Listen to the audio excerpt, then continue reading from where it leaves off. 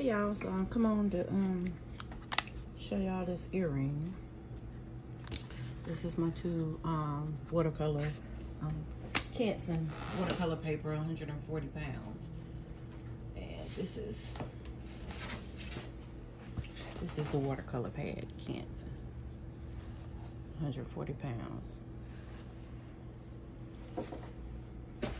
So I come on to put this earring together real quick for you. I'm doing it, um, I cut two so I can show you both ways in case I didn't explain it um, well or show it well um, for the first video for the project. So this is me doing it again. So I did not put any holes in this because it is a flag. And so I'm not sure if I want to put it together and then put the holes in the corner and put a chain on it or if I just want to hang it um, from one end. So I just left it bare for now. So we're going to start off by getting some Mod Podge on the paintbrush. This is the one I use. I like to use glossy. I do not like to use the matte one because if you're using matte and you put it on something that's shiny or glossy, it will make it dull. Just dip my brush into the Mod Podge, paint it on this.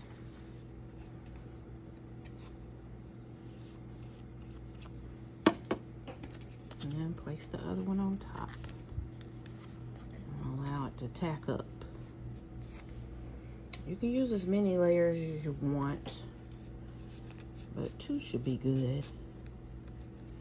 I got too much water on the brush, hold on.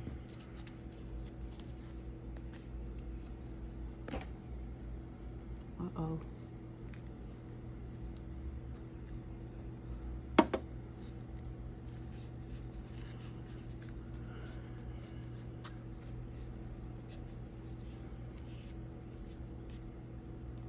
Too much water on my brush.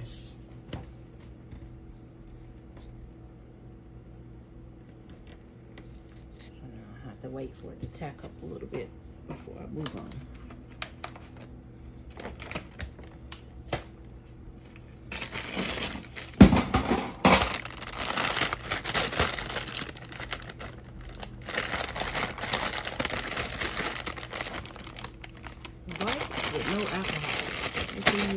with no alcohol. They're the best ones to use.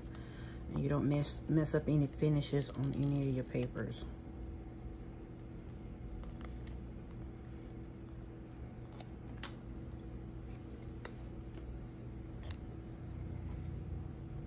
I'm just putting the other one, the second earring together just while I'm waiting on that to tack. That's all I'm doing, putting another set together. All right, all right. Now this step is where we're building the earring or the pieces. We're doing individual pieces.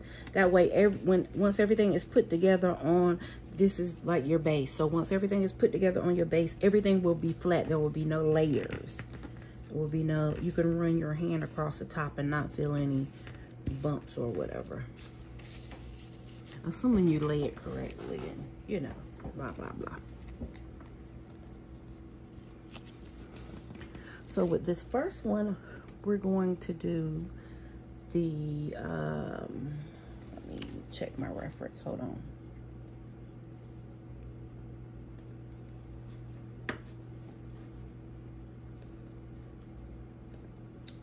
We are going to attempt to do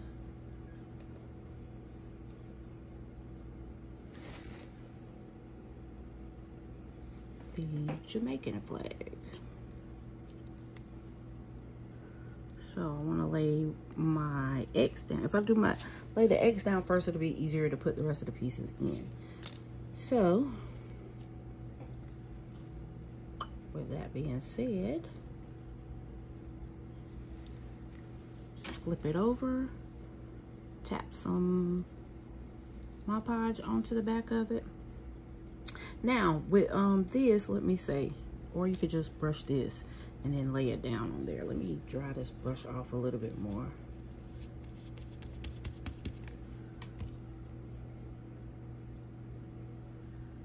You can brush this down on here and then lay your piece down instead of having to brush it on that little piece.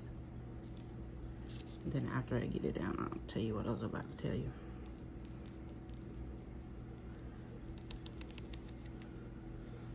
So, you get that brushed on. Just fix this to your corners and go ahead and push it down. You want to work fast while it's wet.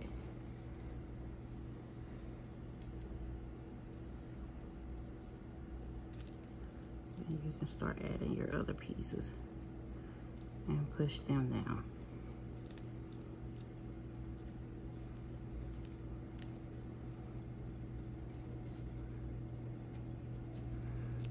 Make sure everything lines up perfectly. I have to tap a little bit more because it'll start to set up pretty quick.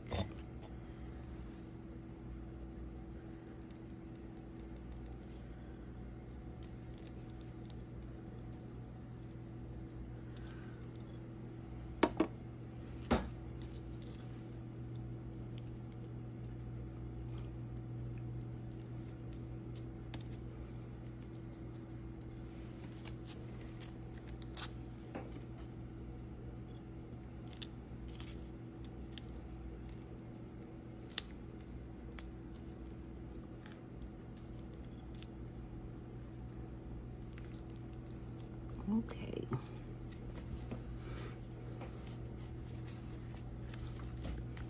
Make sure everything is pushed down good so it can stick well. You take your white and put it over the top and it'll give that any of that excess glue.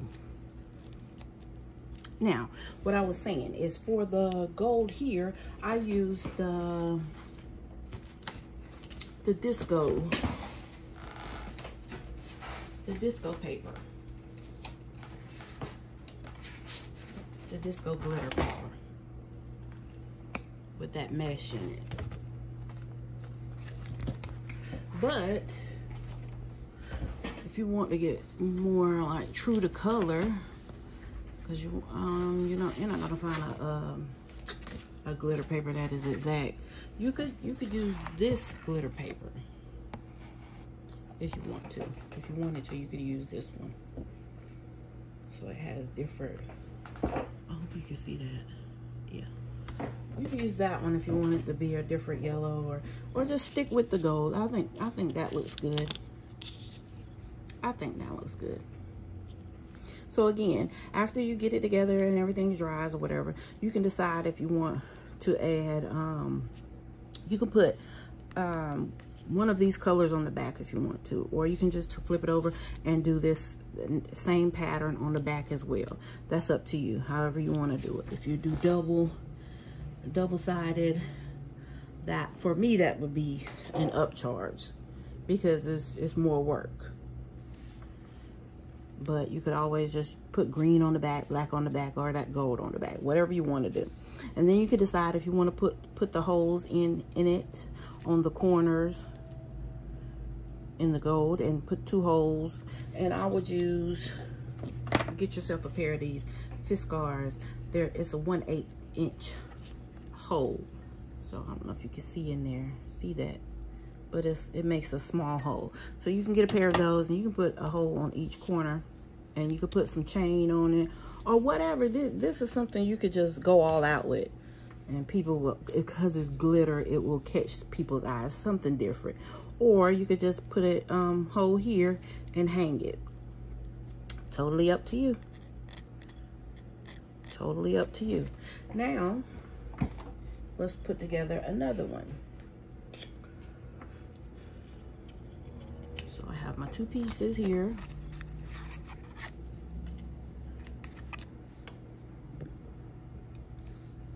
Dip it in my glue.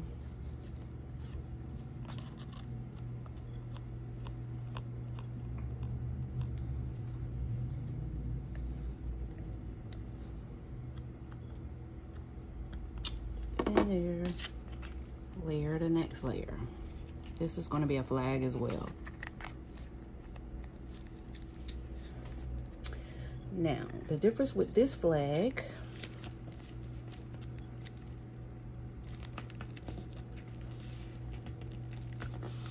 is we're going to use one of the colors as a whole, the same size as, as these um, pieces here.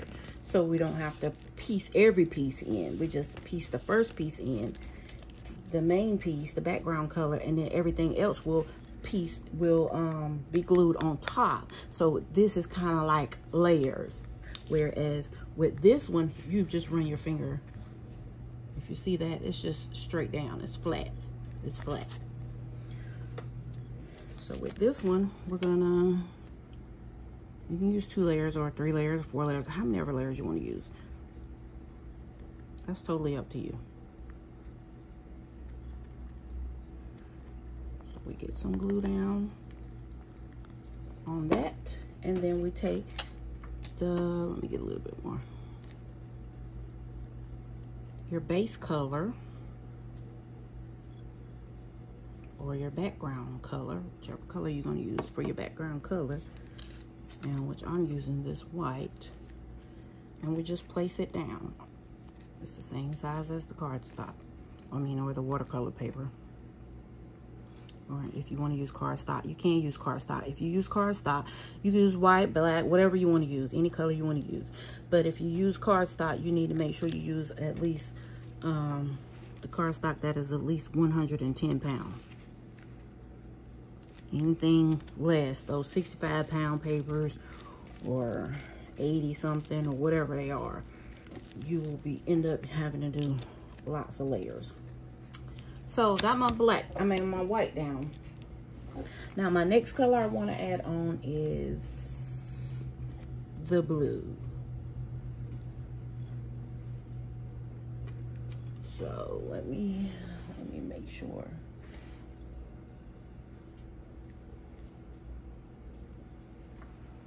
Okay.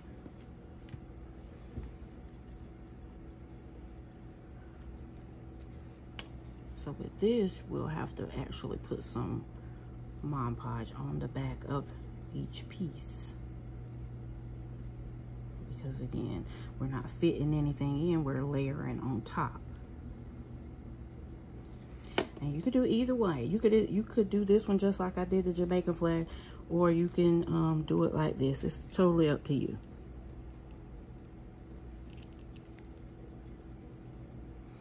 Whatever works best for you, or whichever method you like the best.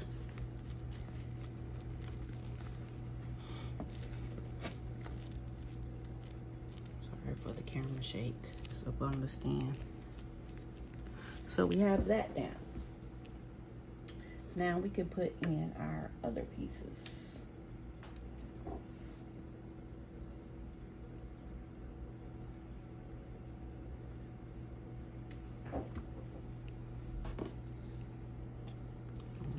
Mod Podge to the back.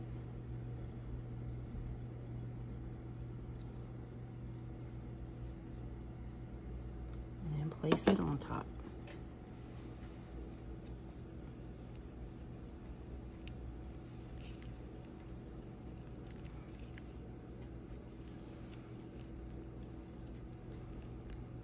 Yep, get it right to the edge and glue it down.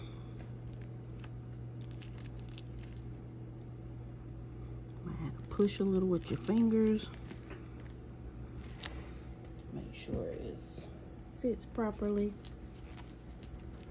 And then just push down with your wipe. That'll get the excess glue and it'll help you hold it in place.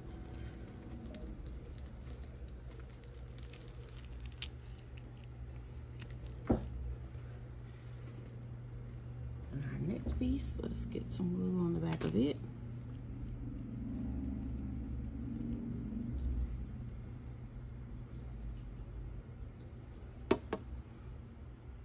And see, with, with um, these just being two, my um, Fiskars, it may go through it or it may not. If it doesn't, I have a Dremel to do my holes. But if you know that you want to do holes, in the, uh, if you know which way you want to hang these, then you can create your hole in the template. That way Cricut will cut it out or Silhouette, whatever you're using to do your cutting your machine will cut it out for you and you don't have to fuss with it afterwards.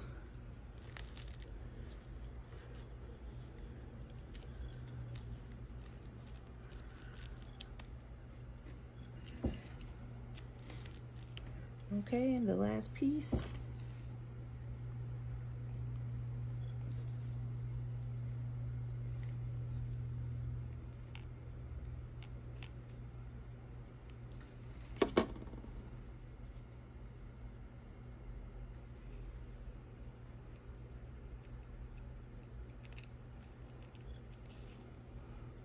Glue it down.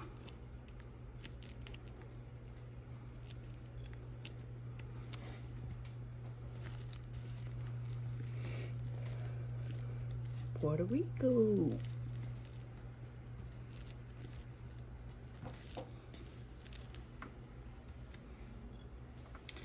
So that's it. So now, see, you didn't have to lay these extra white pieces. You just, it just shows through the cutouts.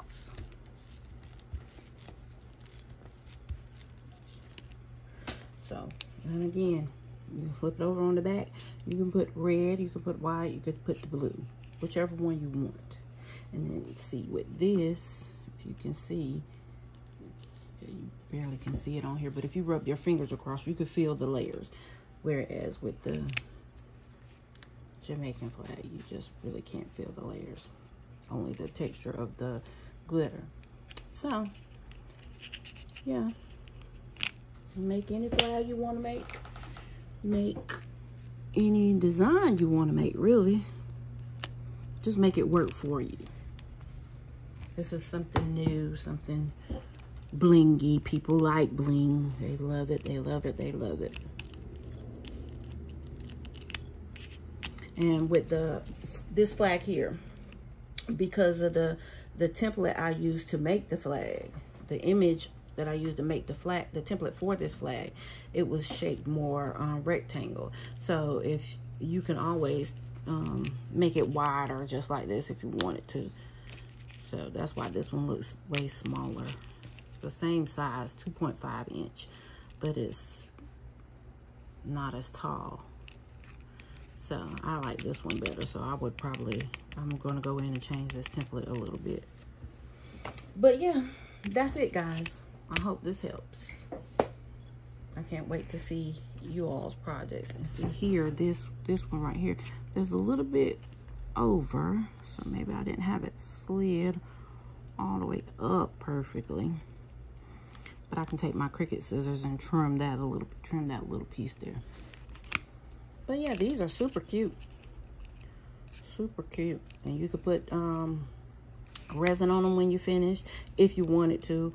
Or you could just use the Rust-Oleum and spray, clear spray it. That will be totally fine as well. Whatever you want to do, guys. I hope this helps.